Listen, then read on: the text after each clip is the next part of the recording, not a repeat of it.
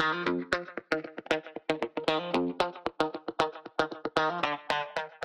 everyone, it's Tracey, and in this tutorial we're going to create this retro style illustration and manually extrude our text using Affinity Designer's Power Duplicate and Geometric functions. I've provided the color palette I'm using as well as the textures, all of which come from texturelabs.org, an amazing site where you can find textures for both personal and commercial use. I'm going to be using a retro script font from Creative Fabrica, but you can use any font that you'd like. I've linked everything in the description below. So let's get started. I've created a square canvas 3000 pixels at 72 dpi. I'm not planning on printing this. However, if you are, you're going to want to make sure you set your dpi to at least 300 because we'll be using textures and you want to avoid pixelation. I've already dragged out a rectangle for my background and I've changed it to the light pink color from the palette. I've also locked it into place so that I don't accidentally move it around as I'm adding my text and other background elements. I'll select my artistic text tool and I'm going to type out retro. You can type out any word you'd like and again use any font you'd like. I have this retro script font that I mentioned previously. Now we're not going to be using live editable text. We're going to be converting this to a curve and combining the individual letters into one large shape. The reason for that is I'll be adding a stroke around the topmost layer. And if I don't combine this into one single curve, anywhere that my letters overlap, for example, the E here or the tail of the T, the stroke is going to continue around that instead of being one continuous stroke around the edge. So because we're not going to be using live editable text, what I would recommend is getting your text looking the way you want it to, and then make a copy of that, which you turn off and just leave in the background. That becomes a backup that you have a starting point in case you need to start over again. So I'll just drag this out a little bit. And I think that looks good. I'll go ahead and duplicate it with Command J. And again, I'm going to turn off this copy and I'll drag it beneath my rectangle. Again, I shouldn't need it but if I do, it's there as a backup. Next, I'm going to take this layer and convert it to a curve. So with it selected, I'll go up to the top and click Convert to Curves. That's going to create a group that has each individual letter set as its own curve layer. Now again, I need this to be all one shape because again, you can see where those letters overlap the next one. So I'll select all five layers, go up to the geometric functions and choose add. And now when I add a stroke around this, it's only going to be on the outside. I don't need this group layer anymore, so I'll drag the curve out of it and just delete it. And I'm all set to begin creating my extrusions. Now, because Designer doesn't have its own extrude tool, we're going to manually create one by duplicating our layers using Power Duplicate and an offset to create the extrusion and then combining all of the duplicates using the add function. I'll start by changing this layer to off-white. That's going to be my topmost color. And I'm going to duplicate that with the Command J and change that to red. Now I'm keeping this on top so you can see what I'm doing. At this point, I need to create the offset and I need to start very small. The reason that I need to do that is because if I offset too much, once I start to create the power duplicates, anywhere that you have curves like this one, you're going to see very distinct bumps. Now, it's next to impossible to get it perfect, but just start small. So I have snapping off for this because that makes it a lot easier. I'll just move this down slightly and then to the right slightly. You'll see a very faint line and that's perfect. So at this point, Designer has recorded how much I went down and how much I went to the right, and it's going to duplicate that each time I hit Command J. The depth of my extrusion is going to depend on how many times I duplicate this shape. And I think that looks good. If I go to my layers, you can see I have a lot of layers here. And again, that's because I started so small with my offset. I'm going to select all of these. So I'll shift click on the last one and then combine all of them with an add. Now I can drag this beneath that first layer and that's my first extrusion. So at this point, I don't need to use the power duplicate function anymore. All I need to do is duplicate this shape, change the color, and then offset it. So I'll Command J, select the bottom layer, change it to the next color, and I'm going to drag down, holding shift until it pulls out to where I want it to. And I'll keep doing that with each color until I get to this dark blue color.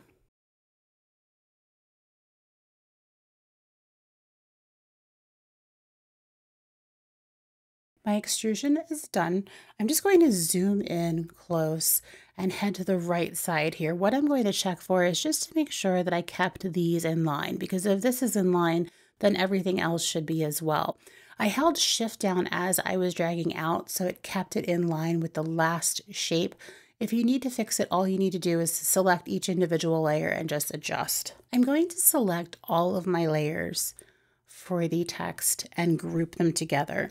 When we add texture, I'm going to make a duplicate of this shape and use it as a vector clipping mask to clip the texture inside of it. But for now, I'm going to keep this as is and just keep it grouped. I'm also going to add the stroke to the top layer. So I've selected that off-white layer. I'll go to my swatches and I'm going to choose the same red as that second layer. So I'll just drag the stroke up. And I think that looks good. Keep it right about there. And you can see since we created one large shape, there's no overlap. All right, we're done with our text for now. I'm going to turn this off so that we can add the background. I'll turn snapping back on because that's going to help us add the starburst in the direct middle of the canvas. I'll select the cog tool and if I hover over the middle, you can see that I'll get this green and red line where the exact middle of the canvas is. Now, before I create that though, I want to turn off my stroke and change the fill to this darker pink color. So I'll just find my middle, hold command and shift down, and that's going to allow me to create a perfect shape from the center. So let me size down a little bit. I brought this outside the canvas because I want the starbursts to sit outside. Now I have a shape here and with certain shapes you get these nodes and you can make further adjustments to them in the direction that the line shows you. So I'm going to drag this in. I'll drag this top one in and you can see I'm starting to get my starburst there. And then I'll drag this top one out slightly. All right, I think that looks good. I'm going to take this layer and clip it inside my rectangle so nothing is hanging outside of the canvas. Let me zoom back in and turn the text on. At this point, I'm ready to start adding some dimension and texture. I'm going to start by tilting my text about 15 degrees to the left. So if I hold shift down, it'll automatically go to 15 degrees and then I can just make sure it's centered now that I've done that. I'm also going to add a shadow under this, but before I do that, I want to create my duplicate for the vector clipping mask because I don't need a drop shadow for that one. And this way I don't have to remove it later. So I'll Command J to duplicate that, go back to my original layer, go down to the FX Studio, and I'm going to add an outer shadow. So I'll use the offset tool to do this. Just bring it out pretty deep there and I'm going to bring the radius up pretty high. I want this to be set out from the background pretty far. So that's it for the effects. Let's move on to the texture. I'm going to be adding paper texture to the background and the letters, as well as a grungy halftone texture to the starburst. Let's start with the background elements. I'll select the rectangle and I'm going to go to place image and select one of my paper textures. So I'll click on this one I'll click to place it. I'm going to deselect it and then reselect it. That's going to place it in the size that it was created in so I can size up and down without worrying about pixelation. And I want to get it right where I like the texture because what I'm going to do is rasterize and trim this by right clicking and clicking rasterize and trim. That's going to trim away any texture that's outside the bound of the canvas because it's unnecessary and all it does is add to the size of your file. So I'll clip this into place inside the rectangle and I'm going to change the blend mode to overlay. And I want to drop it beneath the cog shape because that's going to get its own texture. Just make sure you stay within the group there. All right, so I'll select my cog shape and I'm going to go up to the top here and choose insert inside the selection. That's going to automatically insert the texture inside that shape. I'll go back to the place image and I'm going to grab my other paper texture. I'll click to add it and then size it up. Now, this texture has a touch of color to it. It's not pure black and white, and I'm actually okay with that here, but if you're not, you can always add an adjustment directly to the texture, such as a black and white adjustment or an HSL, whatever you need to.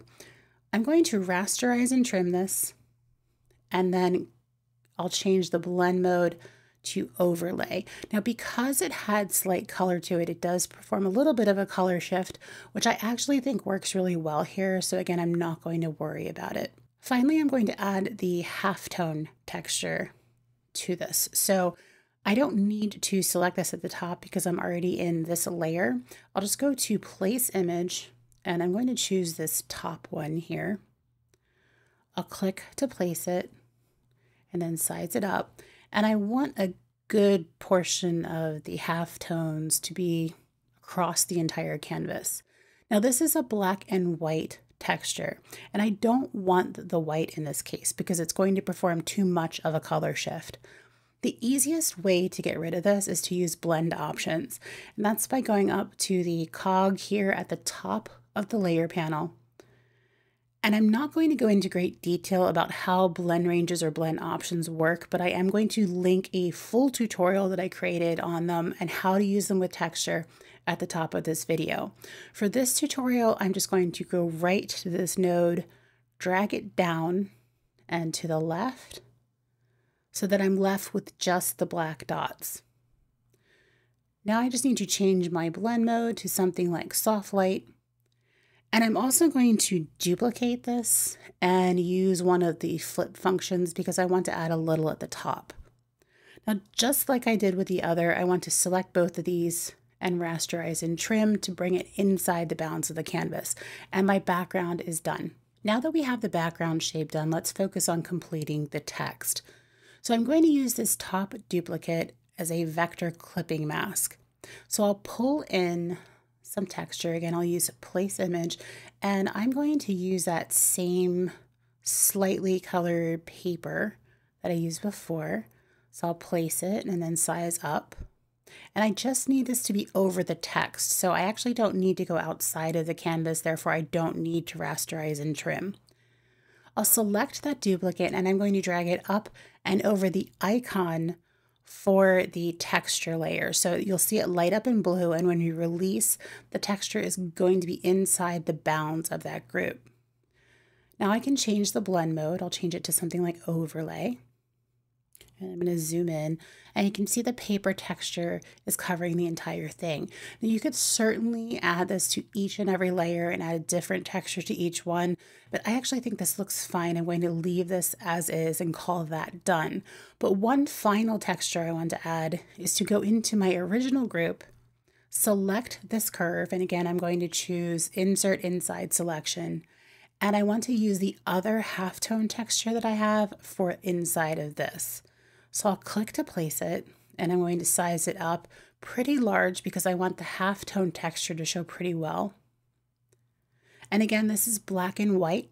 So I need to go to my blend options, drag this slider down and to the right, and that's going to get rid of all the white and leave me with the black. And then I can change my blend mode. In this case, I'm going to use color burn. And I'll right click and rasterize and trim. So that's it. We've created our own extrusion effect using Power Duplicate and the geometric functions. So let me know in the comments below, can you see yourself using this effect either on typography or maybe something like dimensional icons or other shapes? If you have any questions, please don't hesitate to ask. And if you like this video, you might consider watching one of these next. Thanks for watching.